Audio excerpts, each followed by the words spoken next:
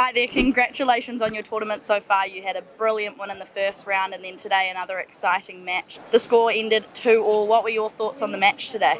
Uh, from the match today, like uh, as I look at the ref, it's not uh, really fair. For, but the team we play against, it's not easy to beat them.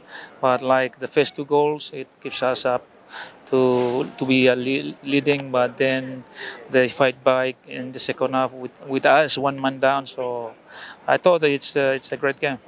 Yeah, and do you think uh, the red card for your side was a turning point in the match? Yeah, it was turning point for, for us, you know, and uh, for me as a coach was uh, too frustrated when you play against uh, the best side and uh, and uh, one man down. Thank you. All the best for your next match. Uh, thanks.